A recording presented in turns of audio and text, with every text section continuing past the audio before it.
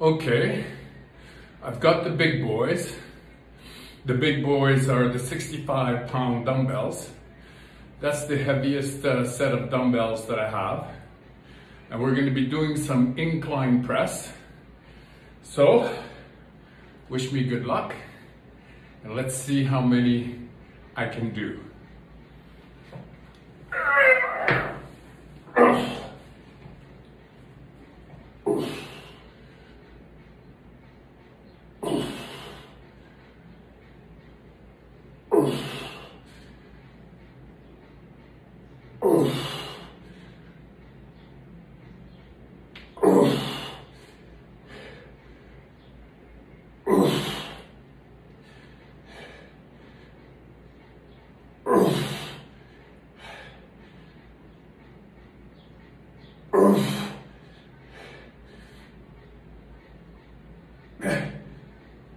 Oof.